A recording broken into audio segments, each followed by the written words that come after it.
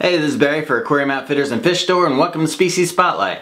Today we're going to be talking about a fish called the engineer goby. The engineer goby can be found across the Indo-Pacific from the Philippines and Australia to the Marshall Islands. Also known as the convict goby, the Pacific neon goby, or the convict worm blenny, the engineer goby is really a unique fish. Despite their name, they're in a different family than other gobies or blennies. These guys should be kept with peaceful tank mates, and you can keep multiple engineer gobies together, but you should introduce them into the tank at the same time. They do the best with a sand substrate, and it's good if your live rock structures are really secure because they can tunnel. They're a scaleless fish, and they don't do well with copper or other chemical treatments.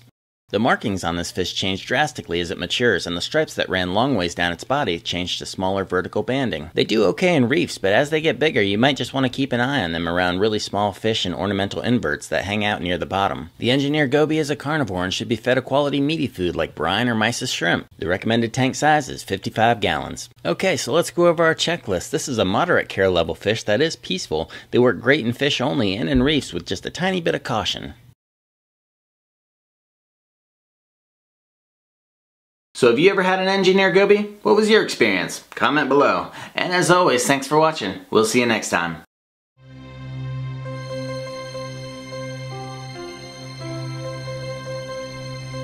The engineer goby has been said to live 10 to 15 years in captivity.